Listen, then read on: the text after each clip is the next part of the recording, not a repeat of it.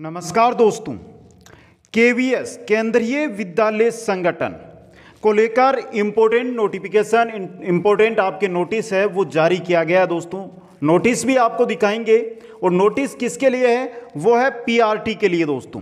Primary teacher के लिए ये नोटिस है, वो जारी किया गया है। तो क्या है ये मैटर? किसके लिए ये नोटिस जारी किया गया है? थोड़ी सी इस जानकारी को ध्यान से देख लेना दोस्तों।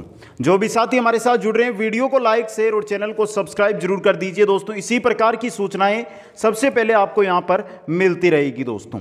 तो चलते सबसे पहले आपकी स्क्रीन पर मैं नोटिस लेकर आता हूँ, जो नोटिस है दोस्तों। केंद्रीय विद्यालय संगठन, डेट देखिए, बारह सितंबर 2023 का आज ये नोटिस आया है। और नोटिस है किसको लेकर? पीआरटी।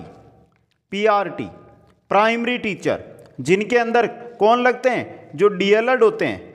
जिनके पास डीएलएड की डिग्री होती है, जिनके पास बीएसटीसी की डिग्री होती है, वह लगते हैं। जब केंद्रीय केवीएस ने 2022 के अंदर एक वैकेंसी थी, जिसके अंदर फॉरम अप्लाई करवाए थे पीआरटी के तहत, वहाँ पर लागू किसको कर दिया था? बीएड को। बीएड के भी फॉरम है, वो लगवाए गए थे पीआरटी के लिए। लेकिन, अब क्या किया गया? नोटिस जारी कहा, करके ये कहा गया है कि। अब आप है जो जो बीएड अभ्यर्थी है, वो पीआरटी के पीआरटी के अंदर एग्ज़ाम नहीं दे पाएँगे। क्या नहीं कर पाएँगे? पीआरटी के अंदर क्वालिफाई नहीं होंगे वो दोस्तों। वो एलिजिबल नहीं होंगे। इसके अलावा, अब जो फॉर्म भरवाए गए उनमें कब परिवर्तन होगा।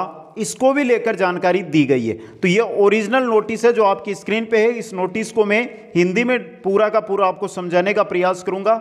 एक बार चलिए ऊपर दोस्तों, वहाँ पर लिख कर हम इसको समझने का है, वो प्रयास करेंगे। देखिए, जो केवीएस विद्यालय है केवीएस विद्यालय है, उनके अंदर पीआरटी की वैकेंसी 2022 की बात हो रही है ये। 2022 के अंदर जो वैकेंसी आई थी, उसकी यहाँ पर बात कर रहे हैं। उसमें क्या किया गया था केवीएस के अंदर 2022 में? जो पीआरटी है, उसके अंदर बीएड है, जो बीएड दारी अभ्यर्थी है, उनको भी एडमिशन दे दिया गया, उनका भी एलिजिबल मान लिया गया कि आपकी योग्यता है अगर बीएड तो आप इसके अंदर फॉर्म लगा सकते हैं। लेकिन अभी आप चर्चाओं में सुन रहे हैं, सुप्रीम कोर्ट का नतीजा आया। सुप्रीम कोर्ट ने साफ़ शब्दों में क्या कहा? साफ़ शब्दों में कहा कि जो पीआरटी यानी जिसको आप लेवल प्रथम बोलते हैं, क्या बोलते हैं? लेवल प्रथम बोलते हैं, जिसको प्राइमरी टीचर, प्राथमिक शिक्षक या पीआरटी बोलते हैं, उनके अंदर सिर्फ़ और सिर्फ़ क्या लागू रहेगी?